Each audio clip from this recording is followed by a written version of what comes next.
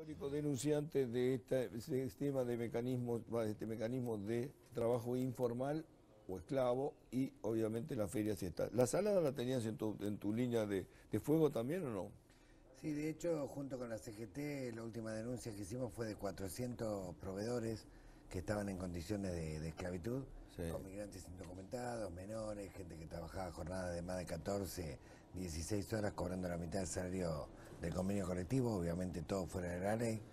Pero además hace rato que venimos viendo que se fue descomponiendo la situación al interior del predio de la Salada, donde ya era un territorio liberado no solamente para el tema trata, trabajo esclavo, sino además para tráfico de estupefacientes, tráfico de drogas. Las barras bravas eran guardias pretorianas de los administradores imponían su propia, su propia ley.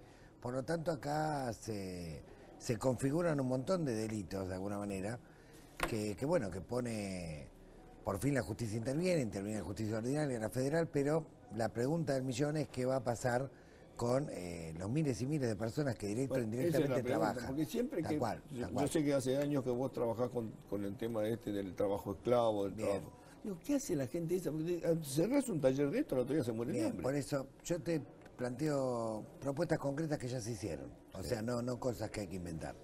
Yo recuerdo que en el año 2007 el juez federal Torres eh, allanó un mega taller este, en Parque Patricios y en lugar de cerrarlo y de tirar las máquinas en un galpón para que se pudran, lo que hizo fue ordenarle al Estado que consiguiera un predio y en ese predio se armó un centro demostrativo de indumentaria, ahí fue a parar la maquinaria, las víctimas se organizaron en cooperativa bajo la administración del INTI, eso no es de ninguna organización, y hoy hay 10 cooperativas trabajando, más de 150 personas, en condiciones de legalidad. Te doy otro ejemplo concreto. El juez federal Inchausti hace dos años, en el cordón de Batán Sierra de los Padres, había en un campo muy importante que abastecía un supermercado muy importante, 180 eh, trabajadores en condiciones de esclavitud, 70 menores. El juez interviene, detecta la situación, detiene al empresario pero no cierra el campo.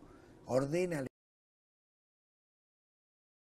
Le debían el sueldo, la acusaron de robar y la echaron a patadas.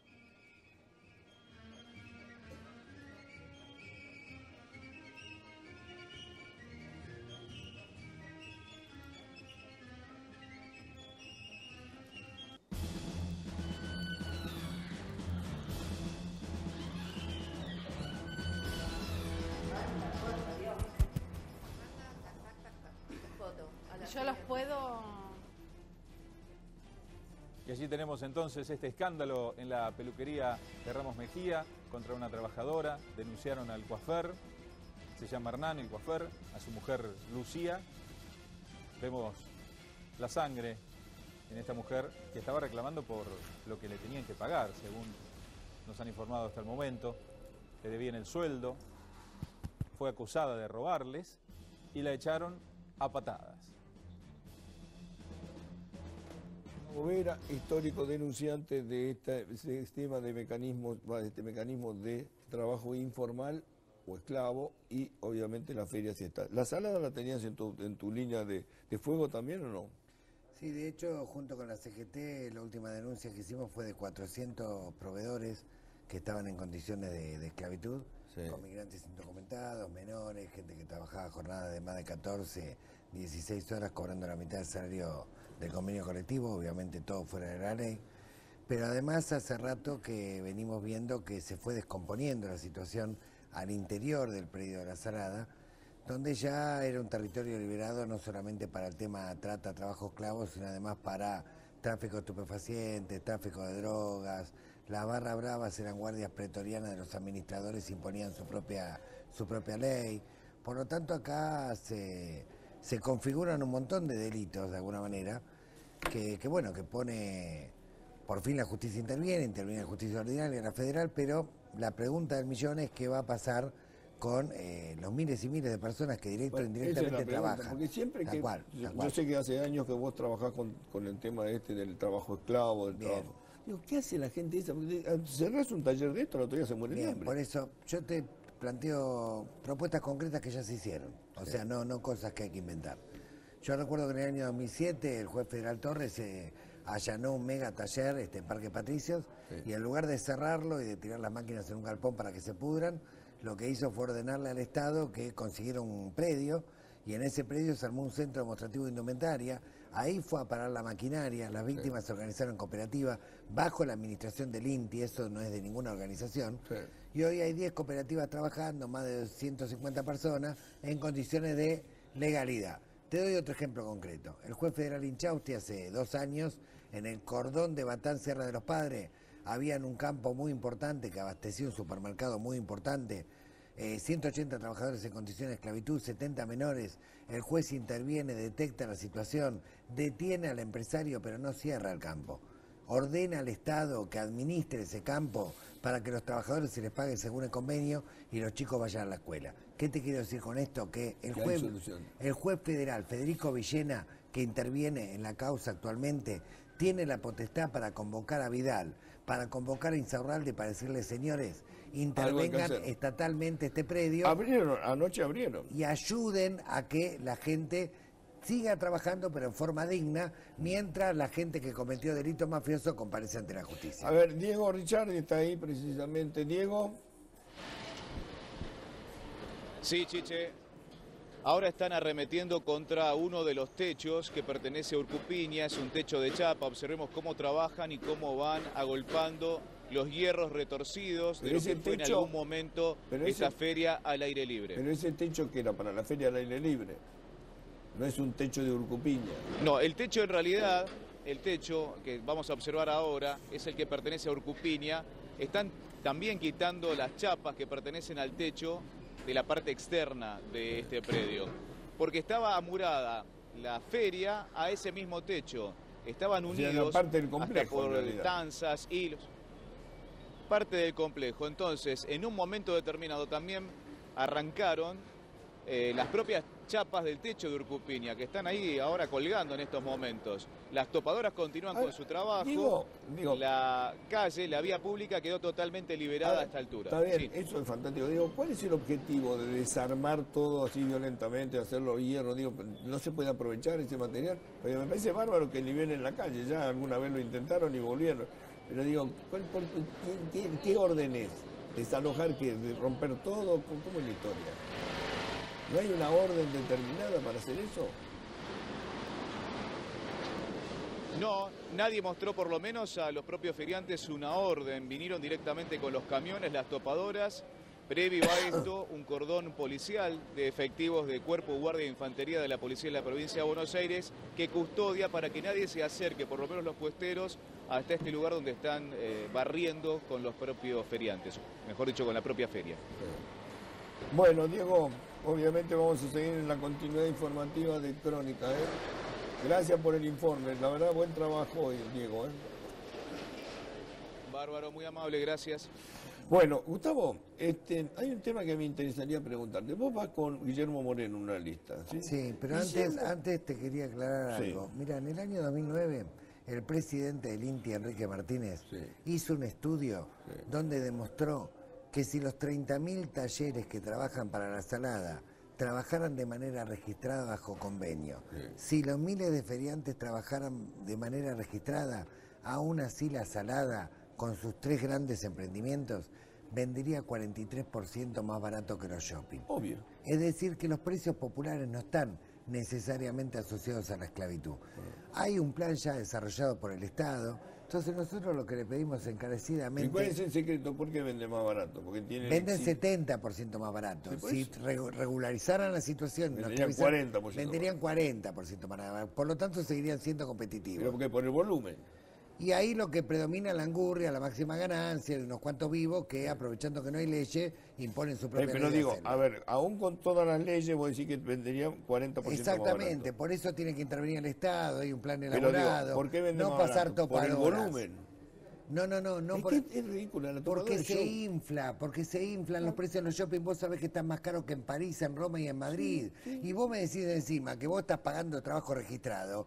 Vos sabés que nosotros denunciamos 120 marcas top y trabajo registrado nada. A ver, comprás muchas prendas de chique que vienen contrabandeando de China hace un montón de tiempo que le cambian la etiqueta y te la venden como local. ¿Se entiende? Entonces, la verdad que si la conclusión de eh, denunciar a una mafia va a ser que van a arrasar con todo para favorecer la importación china y no es una buena noticia. Por eso me parece no, que... Esto no es una buena noticia, más allá de que se está luchando contra una mafia. El juez, federal, el juez federal tiene que pedirle al gobierno de la eh, provincia que intervenga eh, estatalmente en el predio y que ponga las reglas de juego que corresponden según la ley. Vos vas con Guillermo Moreno en la Exactamente. Lista, ¿sí? siguiente. Hace tres años Guillermo Moreno, cuatro años, viajó con Castillo como un modelo empresarial. Sí. No es una ¿Qué dice ahora Moreno de esto? Porque no lo pudimos entrevistar todavía. Bueno, Moreno tiene su posición. Nosotros siempre dijimos que públicamente esto es una diferencia que tenemos con Guillermo. De 100 cosas tenemos una diferencia, por lo tanto... La salada es una diferencia. Exactamente, pero... Pero, me ¿Pero él qué dice? Pero a ver, pero eso no es el problema. El problema es si la salada te financiara una campaña, como por ejemplo Lirita Carrió en el año 2009. ¿Vos te acordás cuando Plat Gay, en el año 2009, primer candidato a diputado, Lirita Carrió, salió a defender a la salada y salió a criticar duramente a Santiago Montoya cuando iba a inspeccionar y lo recibían a los huevazos y a los piedrazos. ¿Sí? No, sabía que había... Este, sí, de hecho ayer en un medio muy importante pasaron el video de Prat Gay, que está, se puede encontrar en internet, defendiendo a la Salada en aquel momento porque había financiado la campaña. Hay una foto que se fue publicada, que la aportamos nosotros a varios diarios, donde vos tenés a Patricia Burlich, a Lilita Carrió, a Margarita Stolbizer, junto con Antequera, otro de los líderes de la Salada, que no tiene mucho que envidiar a los negocios que desarrolla Castillo, desde el punto de vista de la informalidad y desde el punto de vista de la legalidad. O sea que yo creo que, mira, yo creo que sí Castillo. Y que cruzó muchos, muchas gestiones políticas. Pero por supuesto. Tiene vínculo pero por supuesto, y el vínculo con los comisarios de la bonaerense y parte de la federal. Yo creo que si Castillo lo tienen, mirá lo que te digo, dos semanas detenido y Castillo empieza a hablar, acá empieza un lavallato criollo de abajo hacia arriba. ¿Sí? Mirá lo que te digo. Lavallato criollo porque, es más, hace un mes Castillo juntó 400 avales para una lista de Cambiemos. Hace un mes. Para ser candidato. Exactamente, hace un mes. O sea, Pero él dice que es radical. No, no, no. Lo que te quiero decir es que los vínculos con la política, con la policía, con la justicia. que, bueno, no podés desarrollar ese negocio si no, si no tenés Obviamente, que han permitido tantos años ese territorio liberado, que no fue solamente para trabajo esclavo, insisto, tráfico estupefaciente con los tours de compra, tráfico de armas. De, ayer, de hecho, ayer encontraron un montón de armas. Las causas son extorsión, asociación ilícita, evasión previsional. le bajaron el código. Le bajaron el código. Exactamente. Hay que probarlo después. Está bien, está bien. Lo que quiero decir concretamente es que este territorio liberado durante tantos años no pudo ocurrir sin la connivencia transversal de muchos sectores. Por eso digo, si Castillo permanece dos, tres semanas, vos que hablaste con él, yo que me peleé con él y lo conocemos ambos, sí, Sabemos que si el señor empieza a hablar para mejorar su situación procesal, yo creo que unos cuantos políticos deben estar preocupados. No, seguramente. Eh, vos entonces lo que propones es no desarmar, no romper, digo, tratar de reubicar a esta gente. Que intervenga el Estado concretamente, que, ayude que ayude a regularizar a los talleres, que ayude a pasar bajo convenio a los puesteros, concretamente, que eso sea encuadrado legalmente como corresponde, pero que el Estado sea el árbitro, para que garantice que se sea el shopping popular, competitivo, que puede vender con todo en blanco un 43% más barato que los shopping. cumpliendo con todas las leyes. Exactamente. Bueno, Gustavo, ¿y cómo marcha la campaña? ¿Bien? La, la campaña ¿Van a internas ustedes? Sí, vamos a internas. Mira, eh, Unidad Porteña son 19 partidos. Afortunadamente en Capital pudimos lograr una muy buena unidad en la acción. Hasta ahora habría un escenario de tres listas, en la cual está la de Guillermo Moreno como candidato a diputado y yo como candidato a legislador. Es peronismo para el bien común. Una. La otra lista que podría ser hasta ahora Filmus Recalde. Y la otra lista que podría ser Itaí Hagman y Jonathan Tea. Más, eh, más chiquita. Eh, creemos que estamos creciendo mucho, estamos viendo encuestas realmente y encuestas que no las hacemos nosotros, las hacen nosotros y que están mostrando un crecimiento importante porque, a ver, tanto Guillermo como yo no necesitamos demostrar dos cosas. A ver, promesa puede hacer cualquiera, honestidad y coraje lo hemos demostrado sobradamente. Guillermo entró como salió de la función pública, vive en la misma casa, le buscaron hasta el último pelo, pero por enriquecimiento ilícito, ninguna causa. Ni él ni sus eh, directos este, asesores. Lo mismo nosotros, y a la hora de pelearse con los formadores de precios, lo mismo que nosotros contra la mafia, coraje es lo que nos sobra. En este momento yo creo que son dos valores que la gente... ¿Es una mafia la salada? técnicamente... Entendido como un sistema, digamos, con leyes propias, con argumentos, digo, con, territorio propio. la mafia se maneja con, como si fuera un Estado independiente. a ver, inicialmente la salada fue una, un reagrupamiento de trabajadores que en la desesperación de los 90 trataron de buscar una forma de subsistencia a través de una feria popular. Mati, el problema, esta noche. el problema es que en el transcurso de los años este, lo dirigía Rojas y Antequera, eran los fundadores, concretamente. Rojas y Antequera en, algún, en algunos momentos cortaban Puente de la Noria protestando porque la policía quería cometearlos cada vez más. ¿sí? A Rojas le arman una causa, lo detienen, lo ahorcan en una comisaría y ahí aparece el señor Castillo ofreciendo contención y protección junto con el dueño de la pileta de la Salada y ahí empieza a convertirse en un emporio diferente a lo que había sido en su origen, que era un grupo de trabajadores como en un club del trueque o como en cualquier feria artesanal tratando de defenderse.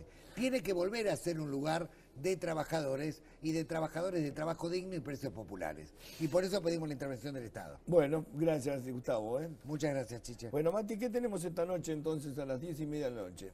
Esta noche, Chiche, el programa especial de Boca Campeón.